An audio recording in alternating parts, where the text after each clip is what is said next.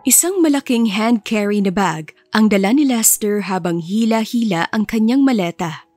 Malayo pa lang siya sa bahay ng kanyang kaibigan ngunit tanaw na niya ang bulto nito. Bro, tinutuo mo talaga? Grabe, hindi ako makapaniwala. Buti na alala mo pa talaga ako, no? Salubong sa kanyang kaibigan na si Erwin. Pinatong ni Lester ang kanyang bag sa kanyang maleta at nakipag-fist bump kay Erwin pagkatapos ay marahan na tumawa. Of course, bakit naman kita makakalimutan? Kung ikaw ang panay, hingi sa akin ng papel noon. Nang aasar na saad ni Lester. Napanguso si Erwin. Ay, grabe naman. At least, hindi minung-minuto. Natawa si Lester sa puna nito. Totoo naman kasi na si Erwin ang panay hingi sa kanya ng papel noong elementarya pa sila. Kaya hindi niya ito makalimutan dahil silang dalawa talaga ang malapit sa isa't isa. Nga pala, pumunta na tayo sa bahay. Alam kong pagod ka na. Ako na magdadala niyan. Sumunod ka na lang sa akin. Kinuha ni Erwin ang malata ni Lester. Aangal pa sana si Lester ngunit nauna nang lumakad si Erwin. Ma! Nandito na po si Lester! Sigaw agad ni Erwin nang nasa labas na sila ng bahay. Mabilis pa sa alas 4 na bumukas ang pinto at iniluwa roon ang ina ni Erwin na malaki ang ngiti. Magandang araw po, Aling Marta. Bati agad ni Lester at nagmano. Kilala ni Lester ang ina ni Erwin. Ang ina nito kasi ang palaging bumabatok at nagpipingot ng kanyang tenga kapag nagpapasaway sila sa eskwelahan. Diyos ko, nandito ka nga! Akala ko ay biro lang yun. Pero salamat dahil nandito ka. Miss na miss na kitang bata ka. Nako, kamusta ka na? Ay teka, umupo ka muna. Lester, kumuha ka ng tubig. Lagyan mo ng ice para lumamig. Tarantang utos ng ina ni Erwin. Sumimangot si Erwin. Ma naman, hindi naman iba sa atin si Lester kaya siya na lang kumuha. Reklamo pa nito. Mabilis na nabatukan si Erwin ng kanyang ina. Nako, huwag mong gawing dahilan yan dahil sa katamaran mo. Pangangaral pa ng ina ni Erwin dahilan para mapatawa si Lester.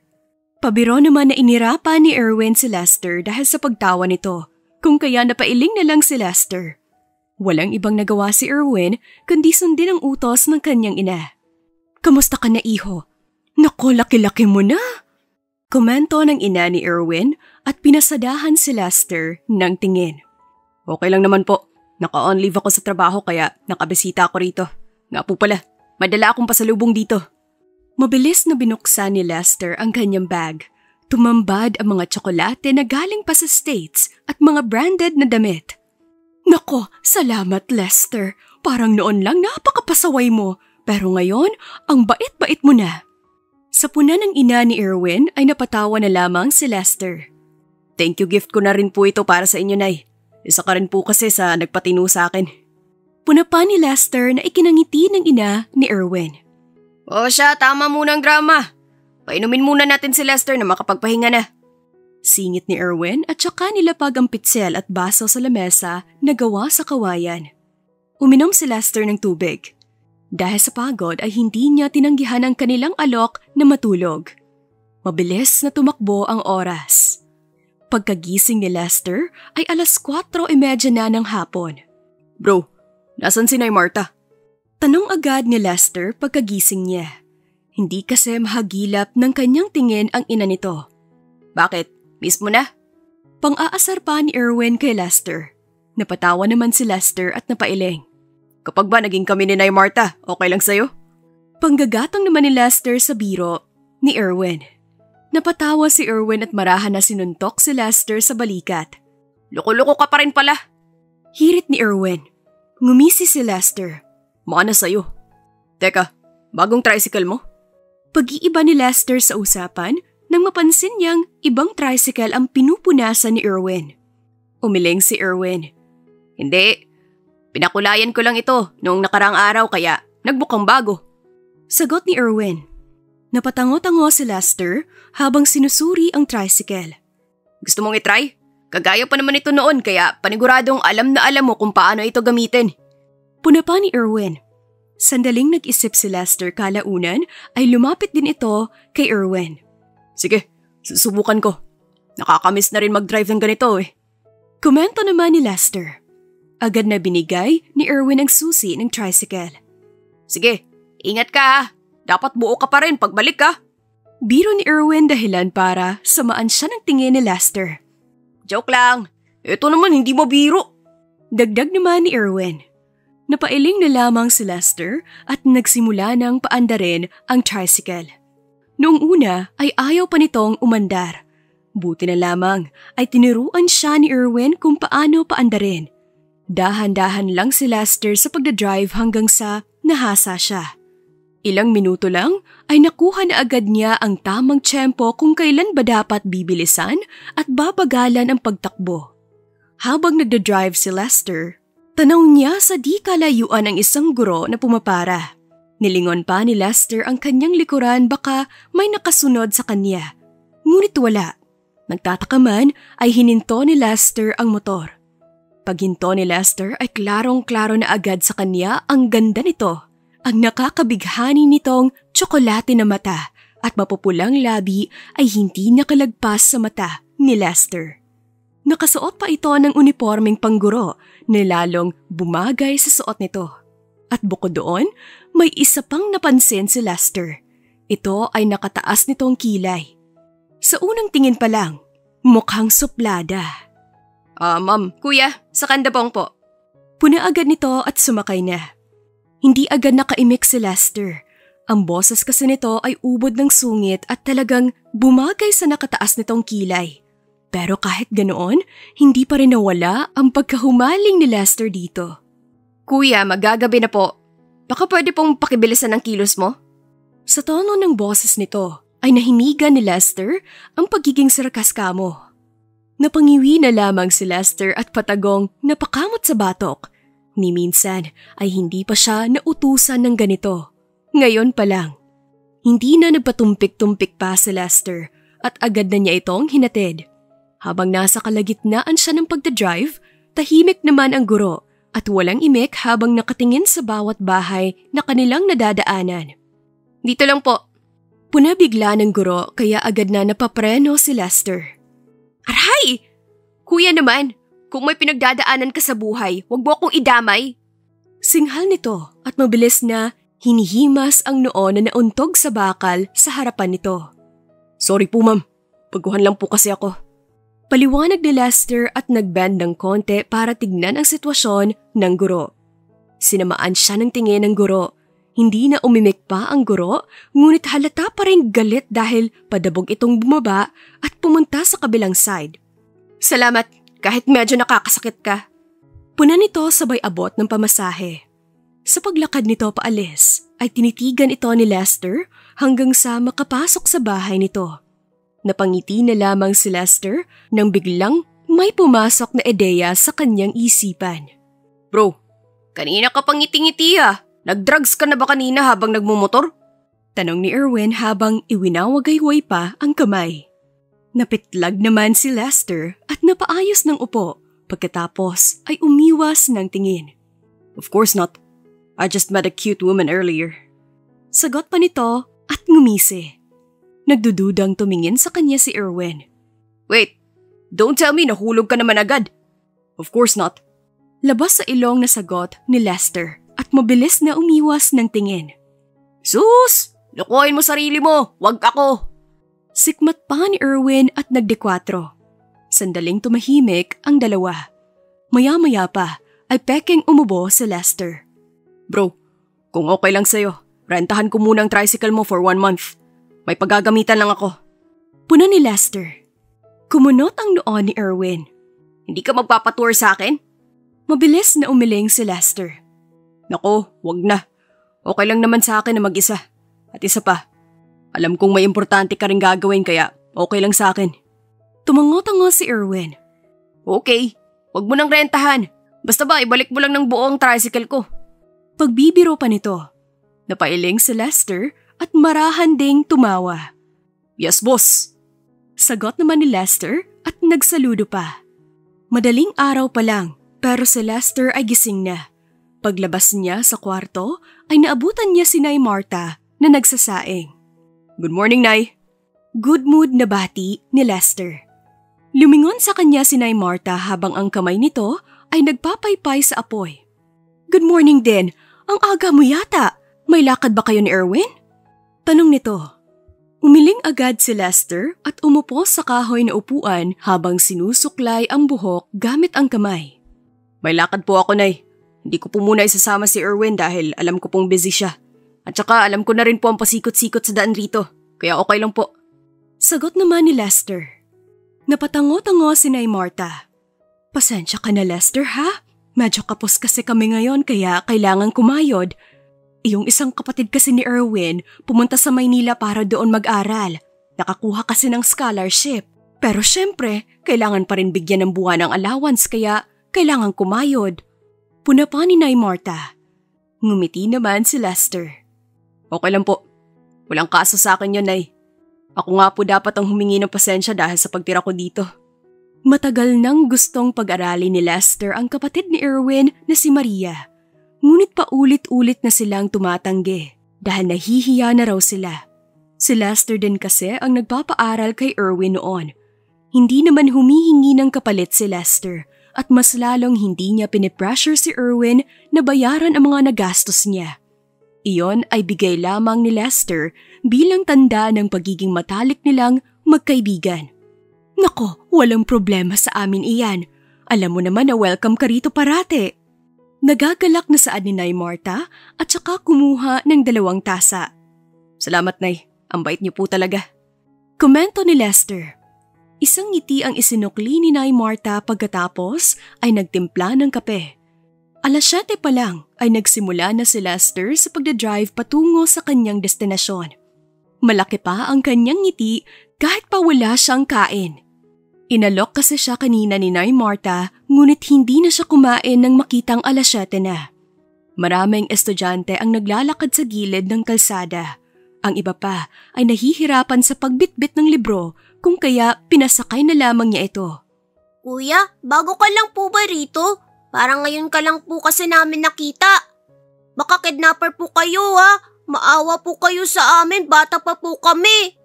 Usisa ng isang mag-aaral na parang nasa grade 6 na. Mahinang natawa si Lester at saka pumarada ang tricycle. Hindi ako kidnapper at mas lalong hindi ako bago rito. Nag-aaral din ako sa paaralan niyo noon. Ngayon niyo lang ako nakita kasi kagagaling ko lang sa US. Binisita ko lang kasi ang kaibigan ko rito eh. Paliwanag ni Lester habang napailing. Napatango ang mga bata, ang ilan ay namangha. Ganun po ba? Ang galing naman! Siguro maraming beses ka nang nakakita ng snow sa US, kuya. Hula nito habang bumaba sa tricycle. Tumango si Lester at ngumiti. Yup.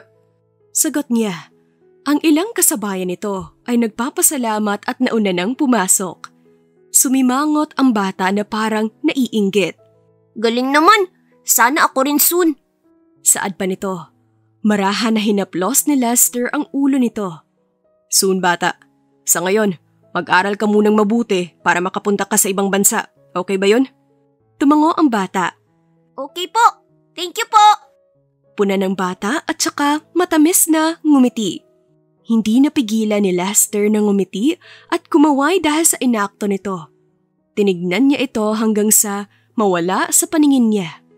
Paglingon ni Lester ay mas lalong lumaki ang ngiti niya.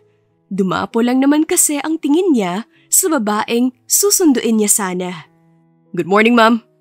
Agaran na bati ni Lester at saka tinukod ang kamay sa manibela habang ang isang kamay naman ay ginagamit panuklay sa kanyang buhok. Natigilan naman ang guro sa paglalakad at saka panandalian na tinignan si Lester na parabang nag-iisip kung saan niya ito nakilala. Ako po yung naghatid sa'yo kahapon, ma'am. Sigunda naman ni Lester at marahan pa na napakamot sa batok.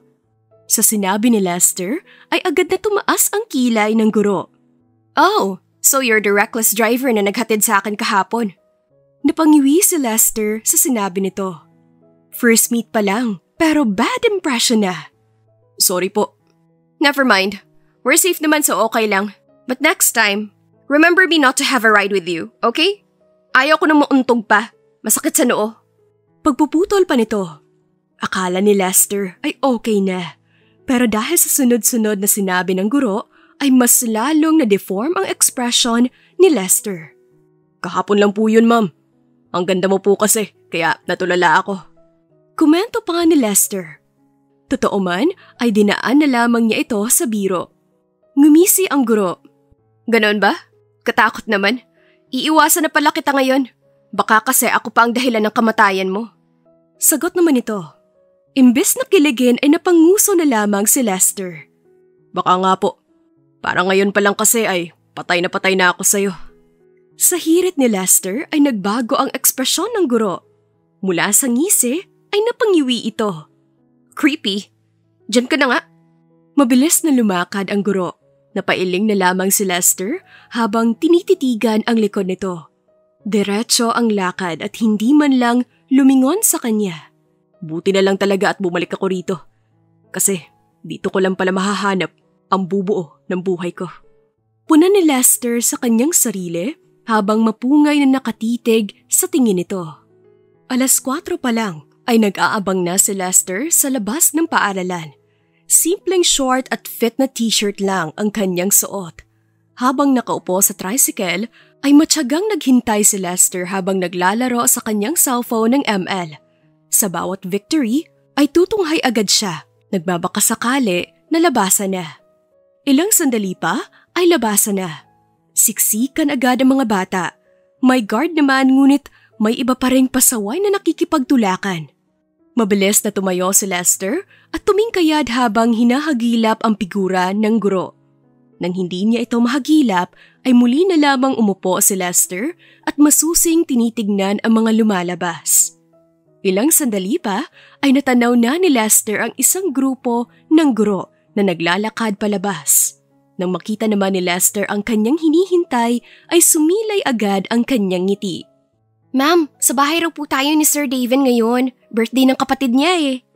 Rinig ni Lester na saad ang isang guro habang nakatingin sa guro na kanyang hinihintay. Napantig naman agad ang tenga ni Lester at hinihintay ang puna nito. Ganon ba?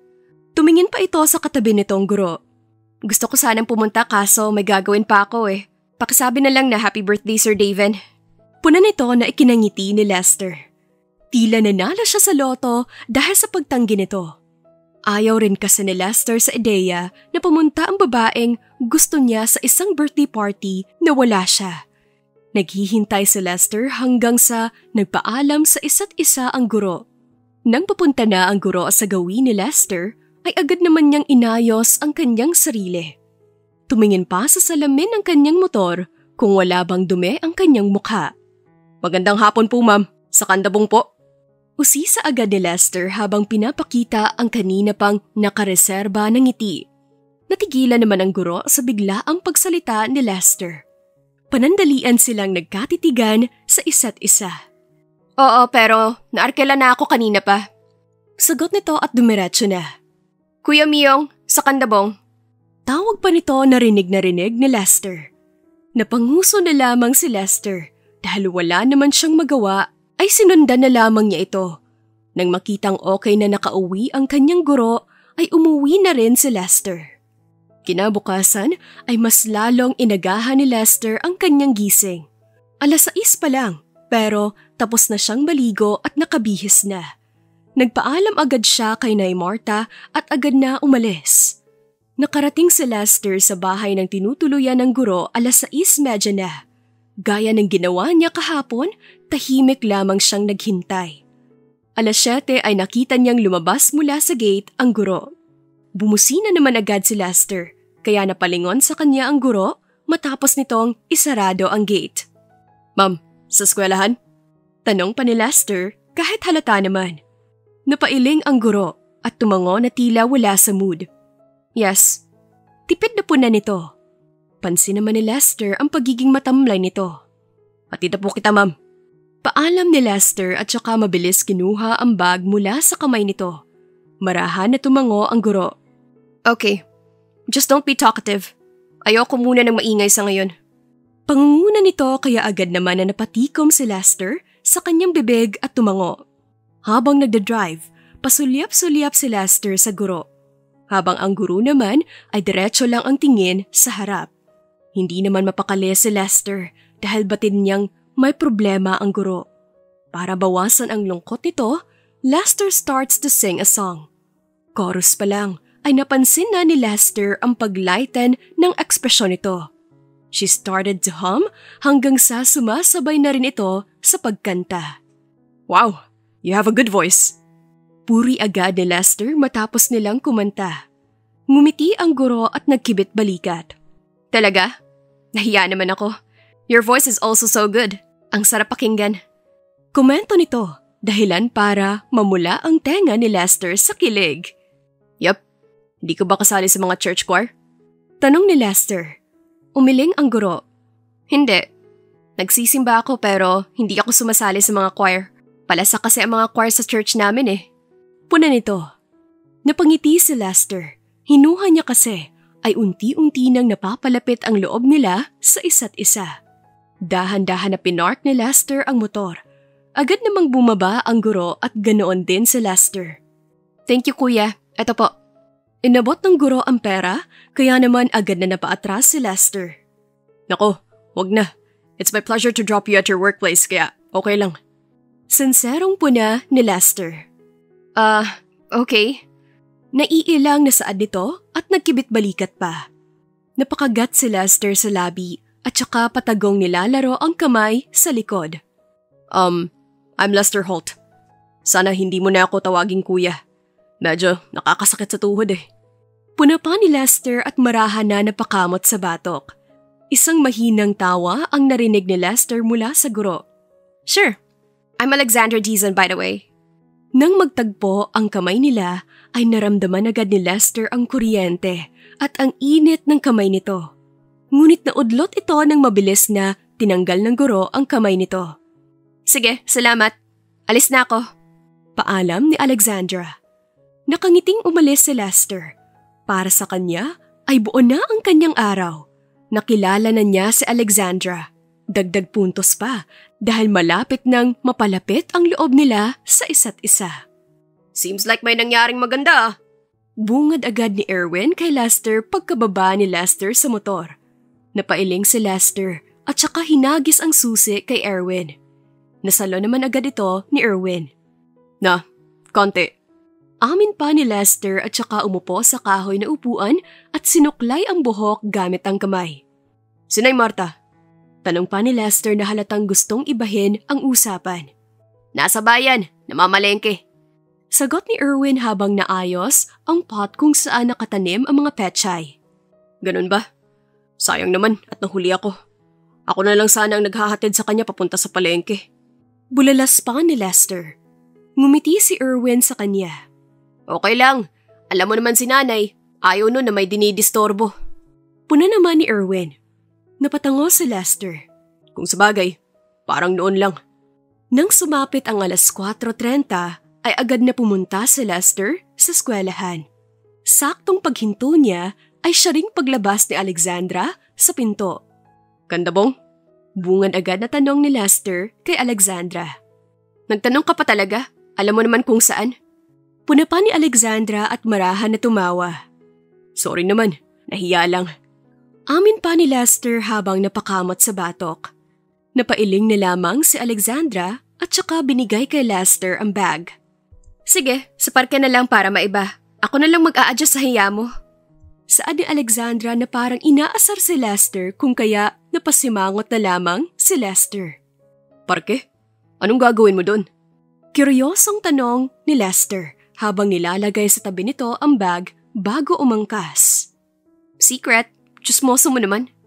Komento ni Alexandra. Napangiwi si Lester at saka binuhay ang makina. Sabi ko nga, hindi na magtatanong. Nang makarating sila sa parke, ay agad na bumaba si Alexandra at ganoon din si Lester. Nang matamaan na hindi nito bitbit ang bag, ay agad itong kinuha ni Lester at siya na lamang ang nagbitbit. Hi, Ma'am! Rinig ni Lester na bati ng dalawang bata kay Alexandra at nagmano pa. Hello? Sinong kasama niyo rito? Bakit kayo lang dalawa? Tanong ni Alexandra habang hinahaplos ang ulo ng dalawang bata. Si Mama po. Naglalaro lang po kami rito kasi nagtitinda po si Mama doon. Sagot ng bata at saka tinuro ang pwesto ng kanyang ina. Lumingon si Alexandra kay Lester na para bang may gustong sabihin kaya lumapit si Lester sa tabi ni Alexandra. Bakit? Tanong pa ni Lester pagkalapit niya. Ba't mo bang kumain ng banana Q or kamote Q now? Bili tayo. Alok ni Alexandra.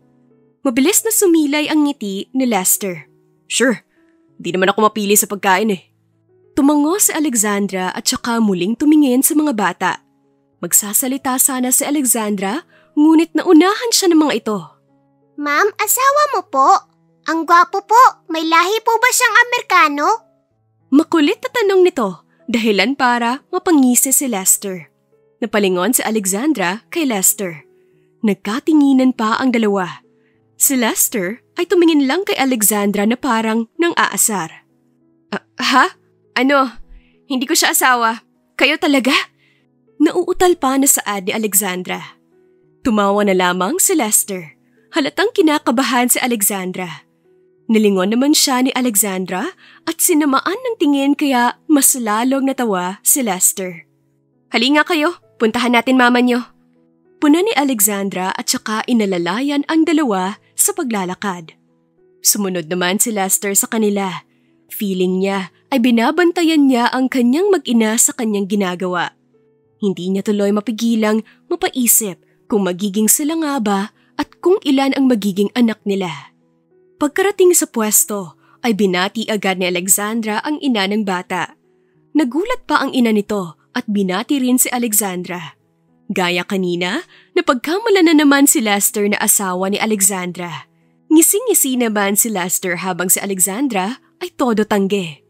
Nang nakumbinsi naman ni Alexandra ang ina nito, ay bumili na siya ng banana ng apat na piraso. Apat dahil isang piraso rin para sa dalawang bata. Matapos magbayad, nagpasalamat naman ang mga bata maging si Lester. Nagpaalam naman kaagad si Alexandra na aalis na. Pagkatapos ay tinungo ang daan papunta sa swing at umupo. Looks like bagay talaga tayong dalawa. Hirit ni Lester nang makaupo sila sa swing. Sinumaan siya ng tingin ni Alexandra. Feeling mo naman, Sinabihan ka lang na gwapo, lumalaki na agad ang ulo mo. Bato naman ni Alexandra pabalik dahilan para mapangiwi si Lester. Bakit? Hindi ka ba nagagapuhan sa akin? Hirit na tanong ni Lester habang marahan na ngumunguya. Actually, may hitsura ka naman pero sorry, you're not my type. Seryosong sagot ni Alexandra at saka binaon ang stick sa lupa. Napaiwas si Lester ng tingin. Iyong 100% niyang confidence ay nasa 80% na lang. That hurts. Ano bang type mo sa lalaki? Tanong pa ni Lester. Tumahimik sandali si Alexandra at tumingin sa langit na parang nag-iisip. I don't know. Kahit naman siguro may ilalagay ako na standards, magigiba pa rin yon kapag mahal ko talaga ang isang tao. Sagot pa ni Alexandra. Natahimik si Lester. Ilang sandali pa ay biglang tumayo si Alexandra kung kaya napalingon si Lester kay Alexandra. Tara na, may gagawin pa akong lesson plan pagka-uwi. Saan ni Alexandra at nauna nang mag-march up alis. Hindi agad tumayo si Lester. Ang tingin lamang niya ay nasa likod nito. Nakatingin sa buhok nitong nag-aalon. Nang nilingon siya nito ay doon lamang napatayo si Lester. Walang imik habang nasa biyahe ang dalawa. Nang makarating sa bahay, ay diretso baba naman si Alexandra. Nang akmang papasok na sana si Alexandra, ay mabilis siyang pinigilan ni Lester. Salamat. Senserong puna ni Lester habang nakatingin ng diretsyo sa mata ni Alexandra. Napakunot naman ang noo ni Alexandra habang nakatingin kay Lester pababa sa kamay nito kung saan nakahawak si Lester. Salamat saan? Takang tanong ni Alexandra. Ngumiti si Lester at nagkibit balikat. Sa libre. Okay lang, salamat din. Lumipas ang ilang araw. Ang ugnayan ni Alexandra at Lester ay unti-unting lumalalim. Habang araw-araw na hinahatid at sundo ni Lester si Alexandra, araw-araw din na nagbabago ang nararamdaman ni Alexandra para kay Lester. Good morning, Sandra. How's your sleep? Tanong ni Lester pagkasakay ni Alexandra sa tricycle. Lumingon sa kanya si Alexandra at ngumiti. Good morning. Okay lang naman. How about you? How's your sleep? Fine. While sleeping, ikaw pa rin ang nasa isip ko. Banat pa ni Lester na siyang ikinailing ni Alexandra. Umaga pa Lester ha, umagang umaga nagsisinungaling ka kaagad. Natatawang puna ni Alexandra. Sa bawat banat ni Lester, iyan lamang ang laging puna ni Alexandra. Hindi nga mabasa ni Lester minsan ang iniisip nito. Pati emosyon ay hindi rin niya mabasa. Hindi niya mawari kung kinikilig ba o hindi si Alexandra. I'm not. Ikaw naman talaga ang iniisip ko bawat gabi. Depensa naman ni Lester at saka itinoon ang tingin sa daan. Ewan ko sa'yo. Basta kontento na ako sa pagiging magkaibigan natin. Puna ni Alexandra at ngumiti pagkatapos ay tumingin sa unahan. Nakaramdam si Lester ng kaunting kirot sa dibdib. Masaya naman siya dahil malapit na sila ni Alexandra ngunit may kulang pa rin. Parang nilalagyan ni Alexandra ng harang ang pagitan nilang dalawa. Nang nasa eskwelahan na sila, ay agad na bumaba si Alexandra at nagpasalamat. Bago pa makalayo si Alexandra, ay nagsalita si Lester. Sandra, what if I told you that I like you? May chance ba? Seryoso na tanong ni Lester habang nakatingin ng diretsyo sa mata ni Alexandra. Umayos ng tayo si Alexandra at mahigpit na napahawak sa strap ng bag nito. Ewan, just like I told you before Lester, I don't have standards. Depende lang talaga sa kung gusto ko rin ang lalaki. As for you, hindi ko alam Lester. Hindi ko alam. Halos bulong na sagot ni Alexandra at saka mabilis na tumalikod. Napabuga na lamang ng hangin si Lester at saka bagsak ang balikat na bumalik sa bahay ng kanyang kaibigan. Pagkarating pa niya ay kita niya agad ang pagiging balisa ni Erwin. Bro, what happened? May nangyari ba? Tarantang tanong agad ni Lester at saka nagmamadaling bumaba sa tricycle. Mabilis na napatunghay si Erwin. Thank God nandito ka na. Bro, may problema. May tumawag kasi sa cellphone mo kanina at sinagot ko kasi paulit-ulit na tumatawag kaya naisip ko na baka emergency kaya sinagot ko. At sabi sa akin ng tumawag ay parating ko raw sa'yo na Napahinto si Erwin at mariin na napakagat sa labi pagkatapos ay umiwas ng tingin. Kinabahan naman si Lester sa inakto nito. Parang nakaramdam siya na may hindi magandang nangyayari. Na ano? Kinakabahan na tanong ni Lester at saka mabilis na napahawak sa balikat nito. Huminga ng malalim si Erwin. Inatake raw ang lolo mo kaya sinugod sa ospital. Diretsyong puna ni Erwin dahilan para mawala ng balanse si Lester.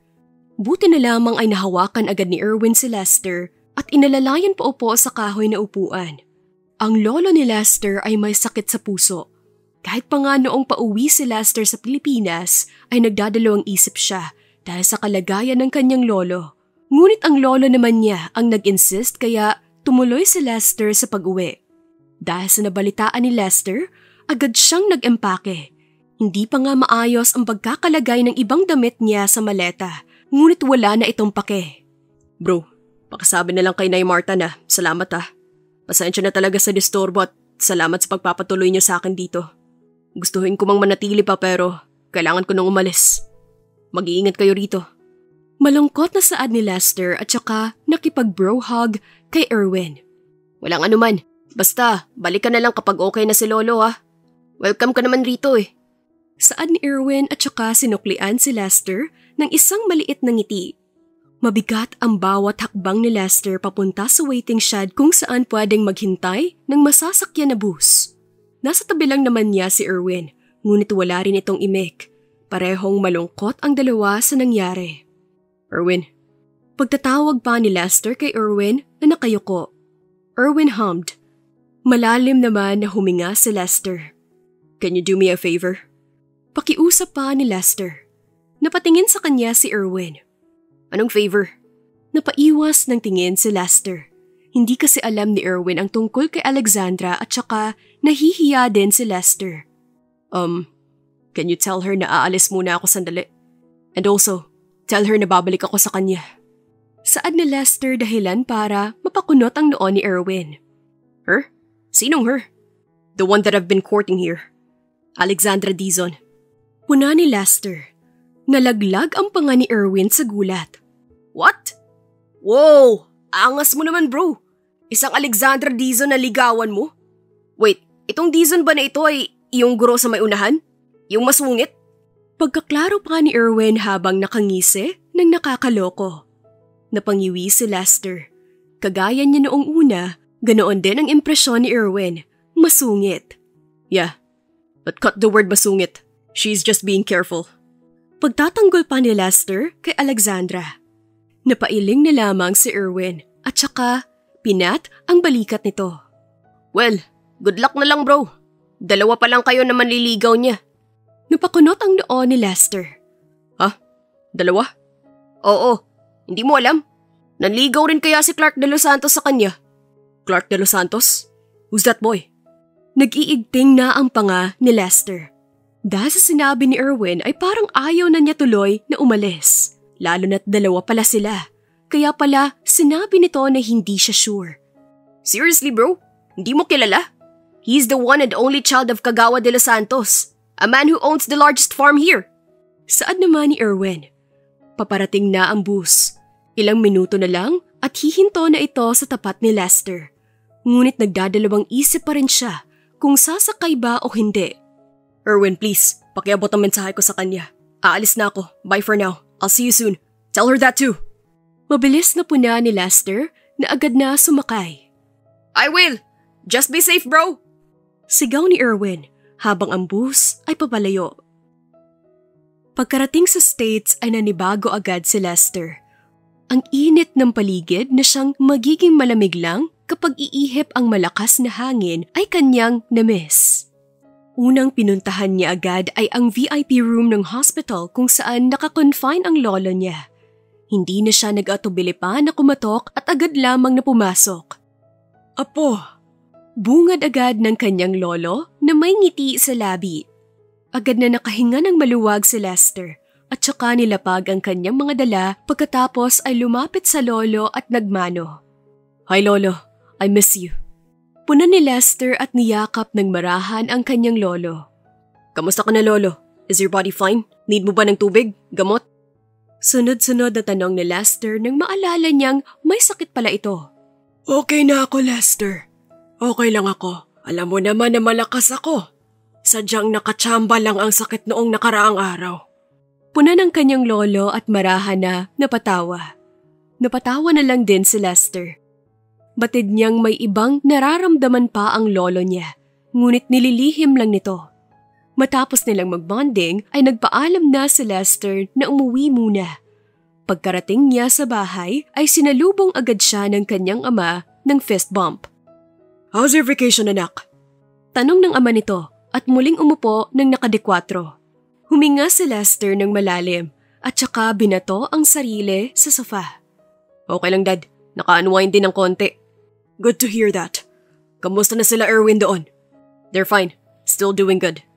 Wala ka na bang ibang plano na pumunta ulit sa Pilipinas? Usisa ng kanyang ama. Natigilan si Lester at saka marahan na napaiwas ng tingin. Meron. And I'm planning to stay there for good also. That's good news. Kailan ka ba babalik? Napakunot ang noon ni Lester sa puna ng kanyang ama. Di ba ayaw mo sa Pilipinas ako manatili? That was before. Ngayon okay na sa akin para naman mabawasan ng kaunti ang stress ko. You'll be the one to manage our company in the Philippines at ako naman dito sa US. Puna ng kanyang ama na nagpalaglag ng panga ni Lester. Seriously dad? Hindi ka nagbibiro? Pagkaklaro ni Lester, baka sa boses niya ang tuwa. Noon pa man ay gusto na niyang pasukin ang business world pero hinintay niya lamang ang go signal ng kanyang ama. Tumango ang ama ni Lester at ngumiti. I'm serious son. Oras na para ikaw naman na mag-handle sa mga business natin doon. Thank you dad. I will surely manage our company well. Paninigurado pa ni Lester. I trust you son, but you still need to undergo training. It will only take six months after that. You can go back to the Philippines.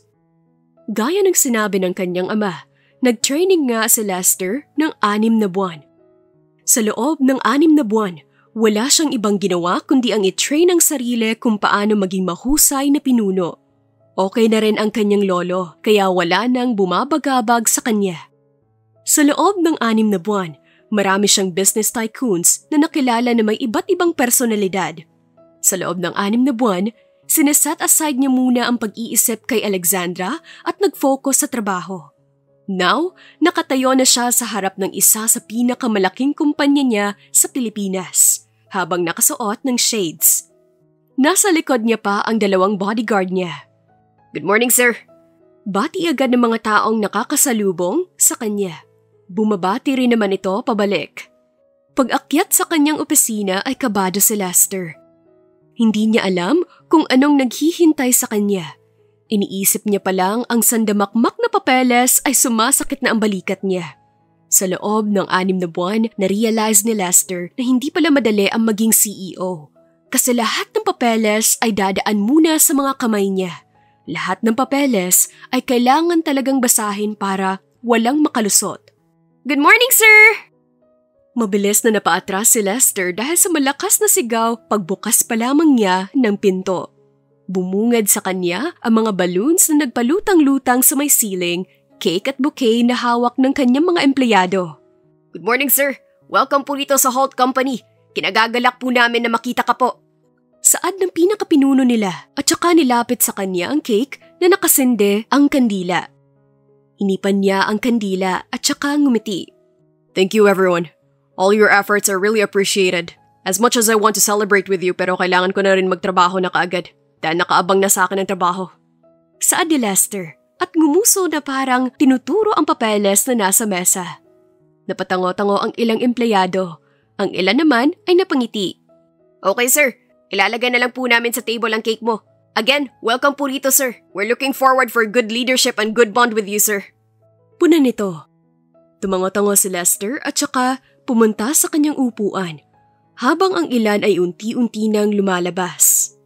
Nang makalabas na ang lahat ay nakahinga si Lester ng maluwag at napasandal sa upuan.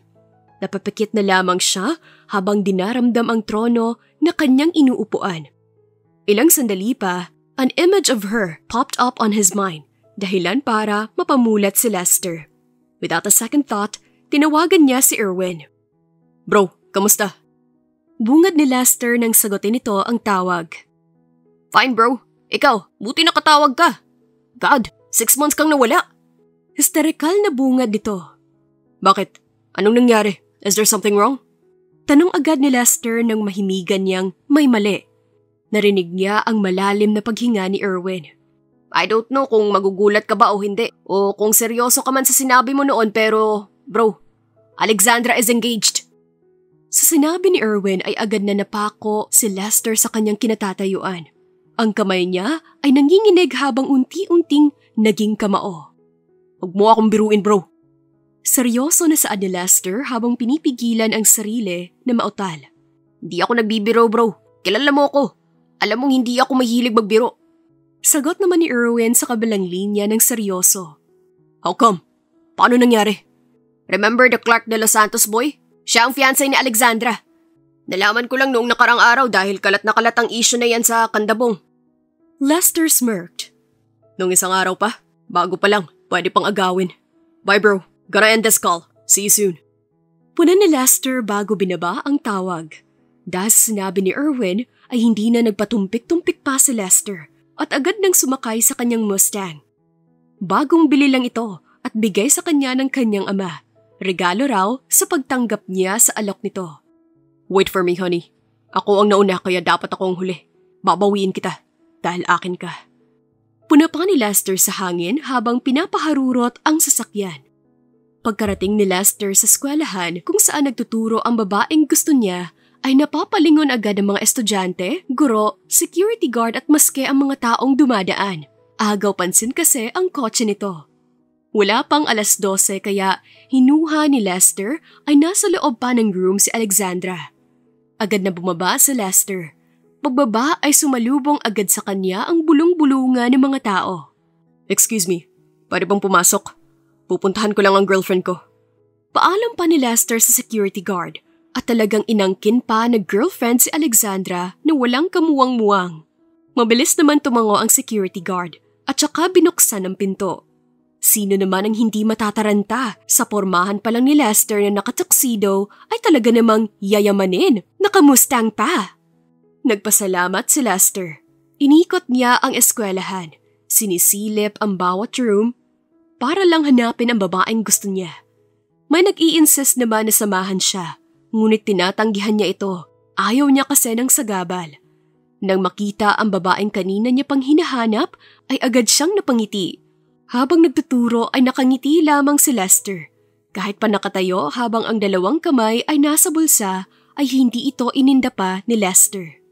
Goodbye kids!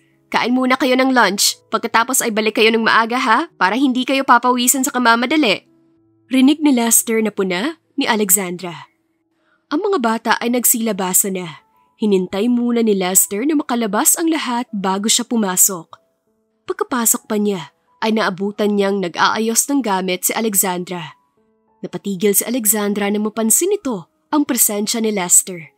Dahan-dahan pa itong lumingon sa kanya. Nang magtagpo ang tingin nila ay hindi ito tinigilan ni Lester at nakipagtitigan kay Alexandra.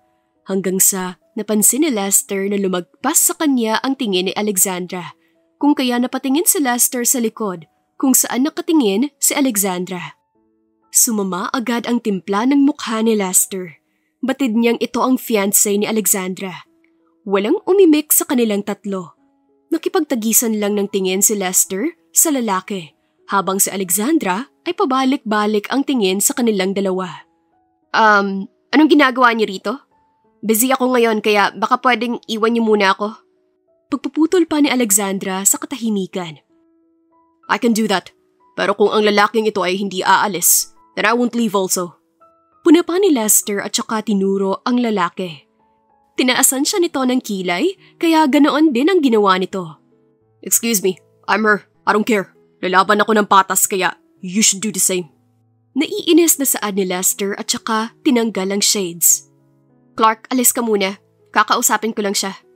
Singit ni Alexandra sa kanila. Natigilan si Clark.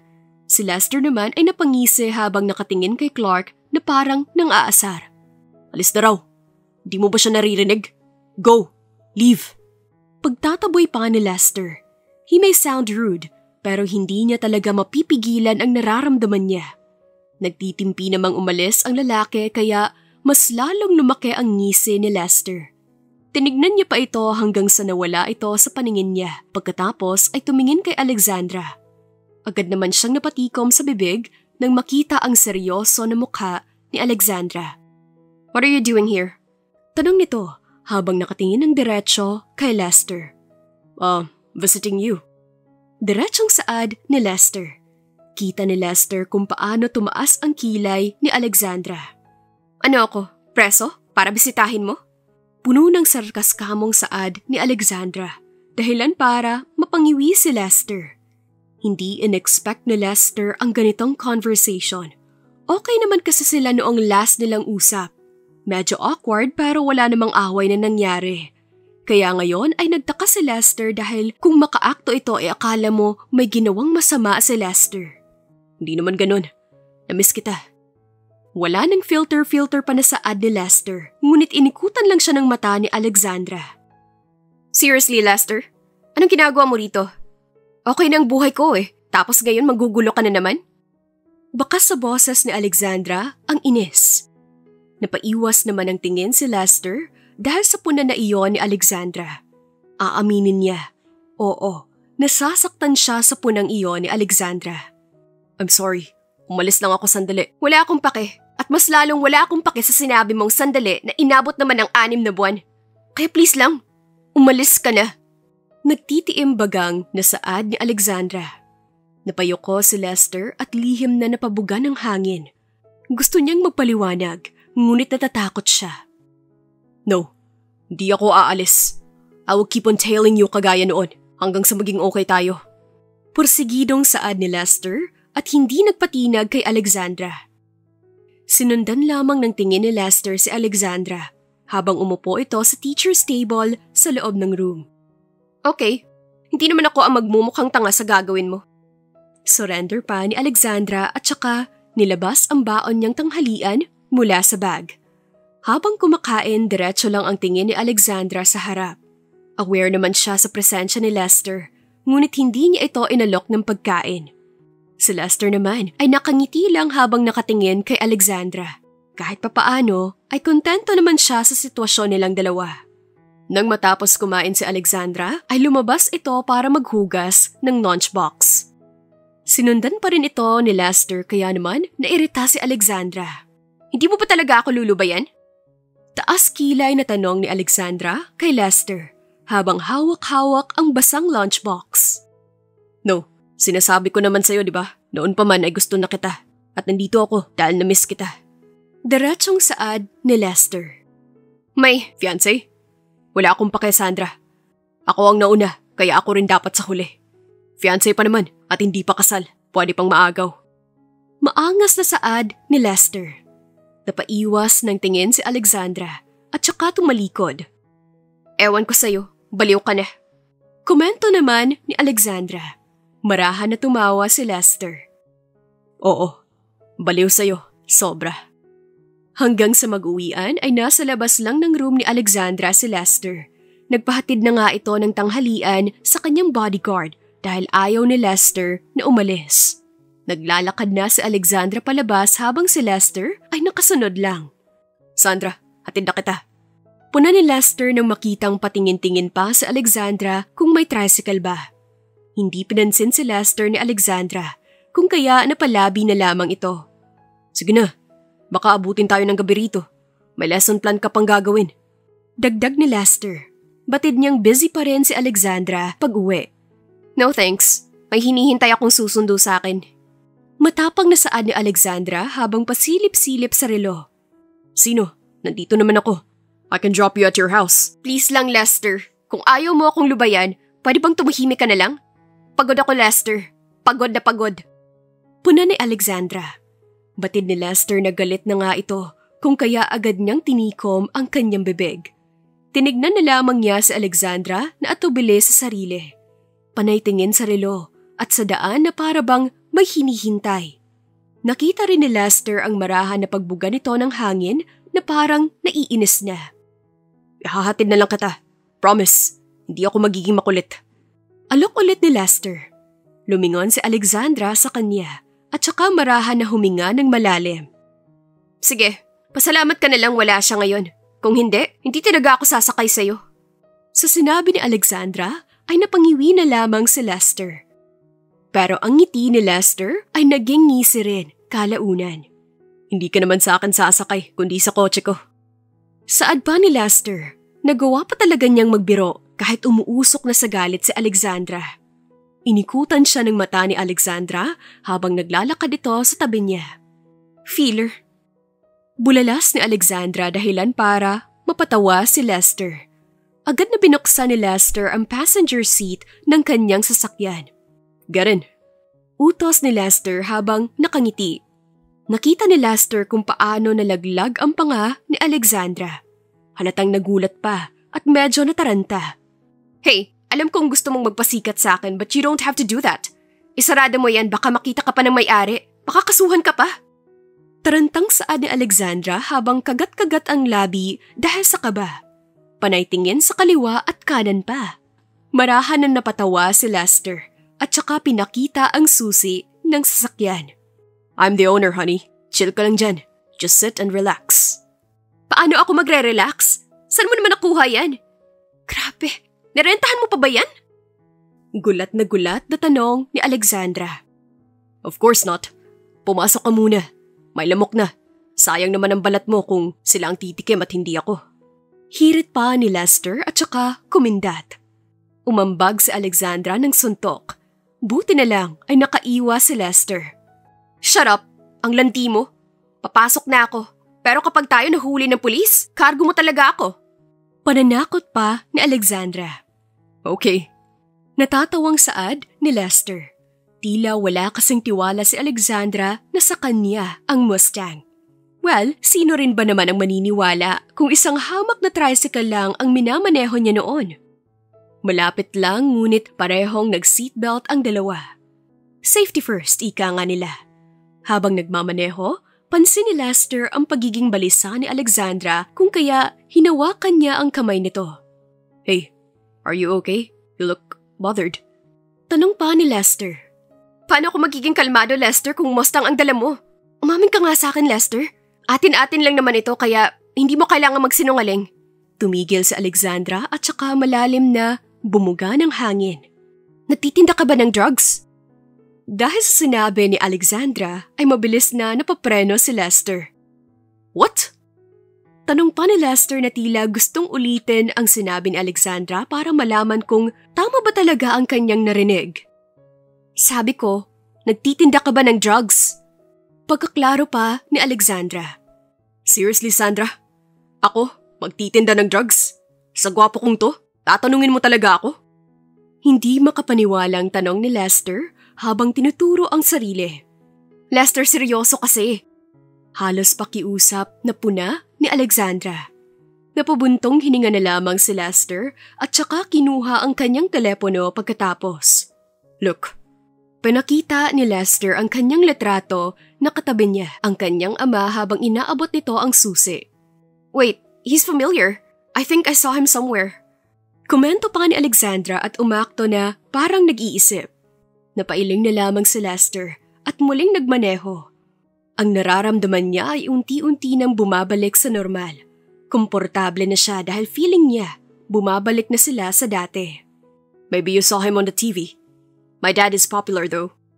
Saad ni Lester at nagkibit balikat. Hindi naman siya nagmayabang dahil iyon naman talaga ang totoo. So, you're rich pala? How come you're here? Takang tanong ni Alexandra. Feeling ni Lester ay bumabalik sila sa dati. From stranger to talking stage again. I visited one of my friends here, and I used to live here also. Kwento pa ni Lester. Saktong nasa tapat na sila ng bahay ni Alexandra. Kaya agad na pinatay ni Lester ang makina pagkatapos ay sabay na bumaba ang dalawa. Salamat sa paghatid. Puna ni Alexandra. Tumango naman si Lester. No problem. Pero baka pwedeng sunduin kita bukas. I'll just give you a ride. Puna ni Lester habang pinaglalaroan ang daliri sa kanyang likod. Naghihintay sa maaaring isagot ni Alexandra. No. Lester, alam mo naman di ba na busy ako? We're both busy kaya stop tailing me. Just do your work. Pagtanggi pa ni Alexandra. But you are more important kaysa sa trabaho ko, Sandra. Huminga ng malalim si Alexandra na parang sumusuko. Fine. Pwede mo akong ihatid but Don't use any expensive cars or motorcycle. I hate that. Bili nito. Agad na ngumiti si Lester at sumaludo. Noted, honey. Good night. Pahabol na sigaw ni Lester.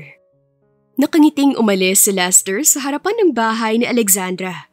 Malayo man ang tinahak niya pa uwi sa city ay hindi niya ito iniinda. Kinabukasan ay maagang bumiyahe si Lester patungo sa probinsya kung saan kasalukuyan na nakatira si Alexandra. Malamig pa ang paligid kung kaya minabuti ni Lester na mag-order ng kape sa Starbucks para may mainom siya habang nagbabiyahe. Nang makarating sa probinsya, inestorbo niya pa si Erwin para manghiram ng tricycle at iniwan naman niya ang Mustang. Pasado alas 6.30 na si Lester nakarating sa lugar ni Alexandra. Malayo pa, ngunit tanaw na ni Lester ang kotse na nakaparada sa labas ng bahay ni Alexandra. Tahimik na naghintay si Lester sa paglabas ni Alexandra habang pasilip-silip naman kung sino ang nasa loob ng sasakyan. Nang tumunog ang gate, ay agad na tumayo si Lester. Agad na sanang magsasalita, ngunit napako ito nang makita na may kasama itong iba. Ito ang lalaki na naabutan din ni Lester kahapon – si Clark. Nang magtama ang tingin nilang dalawa, ay napatigil din si Alexandra. Ngunit kalaunan ay umiwas lang din ng tingin. Good morning. Bati pa ni Lester kahit nandabungaran niya ang asungot na umaaligid kay Alexandra. Tumango si Alexandra. Good morning din. Alanganin nitong saad. Hindi alam ni Lester kung ano ang sasabihin kung susumbatan ba na sa kanya sasakay si Alexandra o kikimkimin na lang niya ang kanyang nararamdaman. Uh, Lester, I'm sorry, pero hindi mo na ako sasakay sa tricycle mo ngayon. May lakad kasi kami ni Clark kaya sa kotse na lang niya ako sasakay. Paliwanag naman ito. Lihim na lamang na napakagat si Lester sa labi at napasuklay sa buhok. Ang saya na mahatid ang babaeng kanyang sadya ay bigla na lamang nawala Dalawang oras lang naman ang biyanahe niya pero ang pagod niya ay abot hanggang langit. Okay, kahit naman pigilan kita, siya pa rin siguro ang pipiliin mo. Mas pinili ni Lester ang ibulong sa hangin ang huling pangungusap. Ayaw niyang ma-misunderstood pa ni Alexandra na nagrareklamo siya. Bagsak ang balikat ni Lester na umuwi kina Erwin. Dinamayan pa siya ng kaibigan at inalok na mag-inuman. Ngunit binatukan lamang sila ni Nay Marta kaya walang nangyari na inuman. Nagpaalam na lamang si Lester at bumalik sa Siri para magtrabaho. First day as a CEO niya kahapon, ngunit parang wala lang ito sa kanya. Good morning, boss. May meeting ka po mamayang 10 a.m. Iyan agad ang bungad sa kanya ng secretary pagkapasok pa lang niya sa opisina. Pabagsak na umupo si Lester at saka pumikit pagkatapos ay hinilot-hilot ang sentido. Oh, Clark de Los Santos po. Nagising ang diwa ni Lester sa sinabi ng kanyang secretary. Napaayos naman siya ng upo at tumingin sa pwesto ng kanyang secretary. Pardon? Again, Mr. Clark de Los Santos wants to meet you po. He has a business proposal to discuss. Puna ng kanyang secretary. Malinaw na sa pandinig ni Lester. Ngumisi si Lester. Tila nakaisip na kaagad ng kalukohang gagawin mamaya. Okay, prepare him something that's spicy. Utos ni Lester. Napakunot ang noo ng kanyang secretary. You know him po? Tumango si Lester at ngumisi. Very much. Kaya prepare him something spicy. Iyong maanghang talaga. Arte pa naman iyon sa matatamis. Iniisip pa lang ni Lester ang mukha ni Clark na naaanghangan ay natatawa na si Lester. Kaya naman, dahil sa balitang iyon, ay ganado si Lester sa kanyang mga ginagawa. Minu-minuto pa ay sumilip sa orasan kung alas 10 na ba. Saktong alas 10 ay nasa meeting room na si Lester. Nakaupo sa pinakadulo ng upuan habang nakatalikod sa pintuan. Excuse me, Mr. Holt. Nandito na po si Mr. De Los Santos. Nagpantig ang tenga ni Lester. Hindi muna lumingon si Lester. Hinintay lamang niya na si Clark ang magsalita. Good morning, Mr. Holt. Agad na umikot si Lester nang magsalita sa De Los Santos. Nakita ni Lester ang pagkagulat sa mukha nito habang siya naman ay nakangisi lamang. Good morning. You may now start. The clock is ticking. Striktong saad ni Lester at pinaglandas ang kamay habang nakasandal sa kanyang upuan.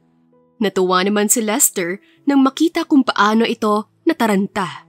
Nakataas ang kilay ni Lester, ngunit sa kaloob-looban niya ay natatawa siya. Good morning again, Mr. Holt. I'm Clark de Los Santos. Pagpapakilala nito hanggang sa nag-propose ito ng kanyang business. Tango lang ng tango ang ginawa ni Lester.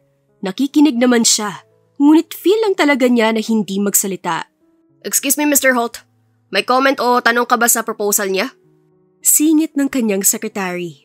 Umiling lang si Lester. Wala naman. I like his proposal, but I don't think it's worth the investment. Napao na lang ang sekretary ng mahina pagkatapos ay peking umubo. Bakit hindi mo muna pag-isipan, Mr. Holt? Mr. De Los Santos can give you an ample time. Pangungumbinsi pa ng kanyang sekretary. Tumayo na lamang si Lester. Okay. Lumingon siya kay Clark na ngayon ay hindi mapakali. Mr. De Los Santos, you can get my final word on Wednesday. I'll email you so you don't have to go here. Anyway, I had a great time listening to you. Thank you. Pagkatapos sabihin iyon, ay tumalikod na si Lester.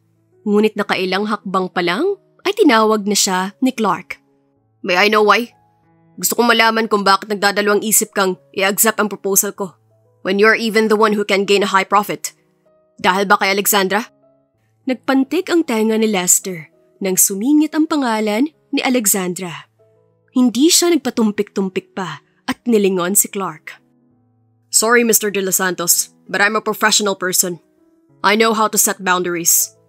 Matapang na saad ni Lester. Plastic na tumawa si Clark. Professional? Sang bandang professionalism mo, Mr. Holt, when you clearly involve personal issues here. At hindi ko magets kung bakit ba galit na galit ka sa akin. Umuusok ang ilong ni Lester. Ang kanyang kamay ay unti-unting naging kamao. You seriously asking me that, Mr. De Los Santos? Bakit hindi? When you're her fiancé, you stole her from me. Nagulat si Lester sa naging reaksyon nito. Imbes kasi magalit, ay tawa ito ng tawa. Silence, Mr. Del Santos! Hindi tumigil si Clark sa kakatawa. Halos sikain na dahil pinipigilan nito ang kanyang tawa. Mr. Holt, for you to be clear, hindi ako fiancé ni Alexandra. Where on earth did you get that idea? Sa tingin mo ba papatol ako sa pinsan ko? Saan ito habang pinipigilan ang tawa? Napaawang naman si Lester. Nagulat siya sa naging puna nito. What? Are you serious? Umayos si Clark ng tayo. Very serious, Mr. Holt. Kaya siguro na chismis kami na magjowa ko no. It's because panay punta ako sa bahay niya. At sinusundo ko rin siya dahil inuutusan ako ni tita. And by the way, just piece of advice. You can propose to her now. She also love you naman. Ikaw nga ang bukang bibig nun kapag nakatalikod ka. Nagtampo lang yun sa'yo dahil hindi ka nagpaalam sa kanya. Pero trust me, kapag nagpropose ka, sasagutin kanya kaagad. Dagdag nito at kumindat pa. Hindi na nag-atubili pa at agad na lumapit si Lester kay Clark. Pagkatapos ay inabot ang kamay. Thank you, Clark. I don't need to think about your proposal dahil tinatanggap ko na. Bye, I have to go dahil susuyuin ko pa ang pinsan mo. Hindi na hinintay pa ni Lester ang sagot nito at agad na bumiyahe papunta sa paaralan ni Alexandra. Bumili muna siya ng singsing at bouquet. Yes, ngayong araw siya magpo-propose kay Alexandra. Dahil naka-business attire pa rin si Lester, agaw atensyon na naman siya. Naghintay pa siya na matapos ang klase. Saktong lunchtime, nagsilabasa na mga estudyante kaya pumasok na si Lester habang ang bouquet ay nasa likod niya. Ramdam niya pa ang ibang guro na sumisilip mula sa kanilang room pero hinayaan na lang ito ni Lester. Hinayaan na lang niya na mainggit ang mga ito. Good afternoon, Miss Dizon. Lester said enthusiastically. Good afternoon, Mr. Holt. What a nice day you're here. I can feel the sarcastic tone, honey. Natatawang saad ni Lester habang napailing-iling. Of course, because that's sarcastic. Masungit na saad nito. Pekeng umubo si Lester at tumayo ng maayos. Um, I don't know where I should start but I think I'll start with Alexandra. I love you. Before ka mag-react, please hear me out. Huminga ng malalim si Lester bago nagsalita. The first day I came back here in the Philippines is para lang talaga bumisita sa kaibigan ko. For one week lang sana pero nagbago iyon nang makita kita. Kaya kahit nahihiya ako, I asked my mother's friend kung pwede bang i-extend and luckily, she said yes. Kaya naging tuloy-tuloy ang paghatid sundo ko sa'yo. I felt so happy that time dahil sa loob ng isang buwan, nakikita ko na ang progress. From stranger to friends, hinihintay ko lang na hanggang sa maging girlfriend kita. But when I heard that my lola was confined in a hospital, wala akong nagawa kundi bumalik sa US. I asked my friend to tell you about that. I know you're wondering why kung bakit naging 6 months ako roon. That's because nag-training ako para maging CEO dahil pinasa sa akin ng papa ko ang kumpanya namin dito sa Pilipinas. That time, kahit pagod na pagod, ikaw lang ang iniisip ko. Iniisip ko na this is for our future. Kakayod ako kahit wala ka. Kakayod ako para sa'yo. When I came back here, bumungad agad sa akin na may fiancé ka na raw. Of course, hindi ko iyon pinansin. Fiancé pa naman, di ba? Pwede pang maagaw. Napangiti si Lester nang makita ang marahang pagtawa ni Alexandra. Honey, I found out that those issues are not true. Kaya tuwang-tuwa ako. Now, I want to grab this chance. Huminga ng malalim si Lester at saka kinuha ang singsing sa bulsa. Pagkatapos ay lumuhod. Will you marry me? Tanong ni Lester at marahan na napakagat ng labi habang hinihintay ang sagot ni Alexandra. Dalawang minuto na, ngunit hindi pa nagsalita si Alexandra kaya halos maiyak si Lester. Yes, of course. Kahit nagtatampo ako, pakakasalan pa rin kita. Masayang sabi ni Alexandra at saka inabot ang kamay. Abot hanggang langit ang tuwa ni Lester.